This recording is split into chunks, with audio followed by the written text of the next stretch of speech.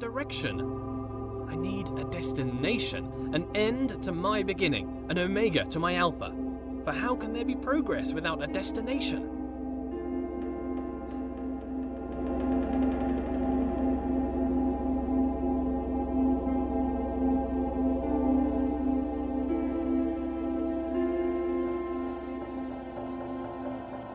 Aha! A path! A narrow path that leads to a destination. Progress! Ah, before me I see a large wall. I press on and walk through the wall like a ghost. Nope, walls are solid, can't do that. Note to self, cannot walk through walls. A button! Push the button, escape the box. I control the world with a wave of my figurative hand.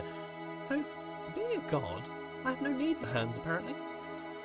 I think I need some trimmings, something to spruce the place up a bit, make my universe heavenly, something to reflect my wealth and godlike status. Grand. It needs uh, colour, gold, lots of gold, to reflect my immense wealth, an abundance of goldness. Also to reflect my love of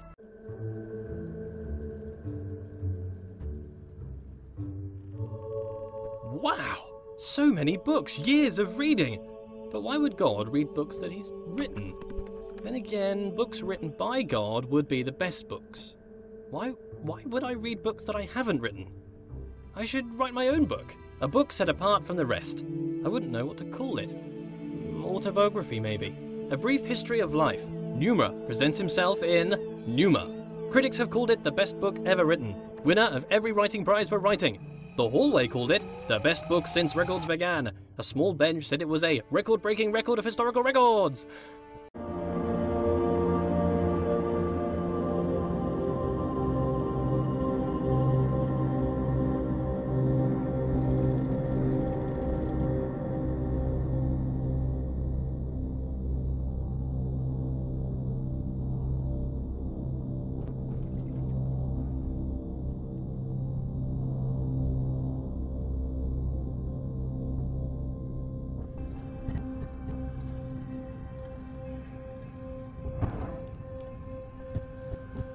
I can move bridges with my mind.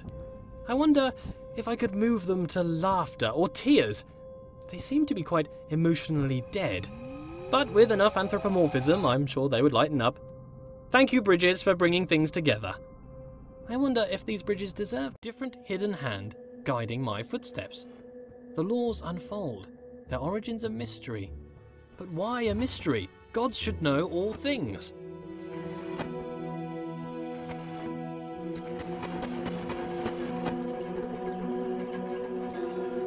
Gods are creators. I must have created this world.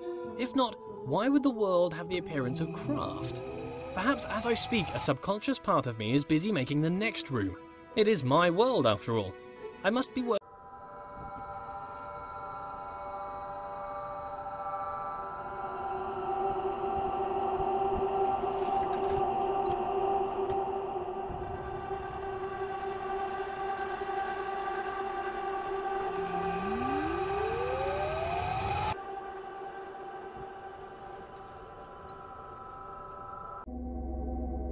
Grand! So many doors! The path still appears to travel onwards behind a large gate, but there are forks in this path. An opportunity to travel, see the universe, go along any path I desire. All this travelling, though. I would like a travelling companion. Someone to watch over me, help decide where to go, watch my back, keep me company. Oh, but that's just silliness. I don't really need anyone. I'm a god. Why can I be surprised? If I'm all knowing, then I should know all. Perhaps there is a moment when knowledge is created.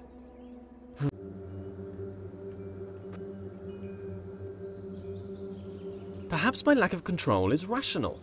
I have two observable natures as far as I can see my body and my mind.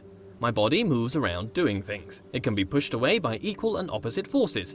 It is constrained by the world. My mind creates thoughts that it speaks.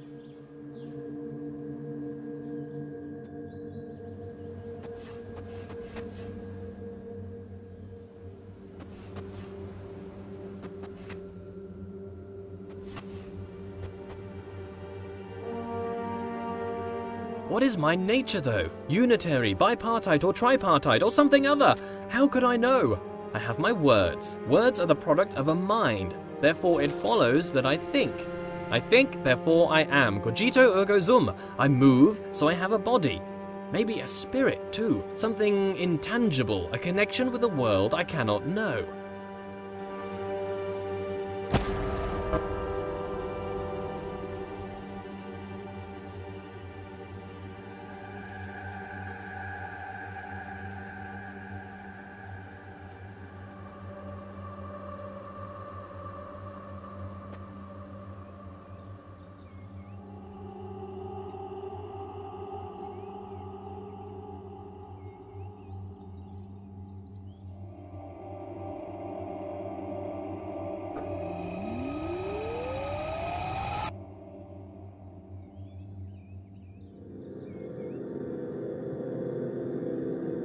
Insatiable appetite for closure? Show yourself, please! Your silence is deafening. You say nothing. You sit silently above, playing God. You are the danger. You move my world. A leap of faith. Alive. I'm real. I'm alive and I'm real. I am a real boy. Thank you. I sure deserve to be a real boy. Someday I'm going to be a real boy. A real boy with thoughts. A real boy. An alive, real boy. A boy with thoughts. With thoughts, with heart, with soul, with mind. With body, with consciousness, with spirit, with breath. Pneuma. I'm a real boy. I'm not a wooden character. I'm a real boy. With emotions,